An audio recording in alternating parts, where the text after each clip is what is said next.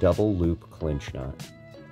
To tie our knot, we're just going to run the line through the eye of the hook, wrap it back around and go through the eye a second time, and bring that even back around towards the main line. Keep this space, we're going to create a second loop right here like this basically. So we want to keep that open and wrap it around the main line. Take our tag end and we go through both of these loops. Pull it tight. Trim off your tag end. And now you have a completed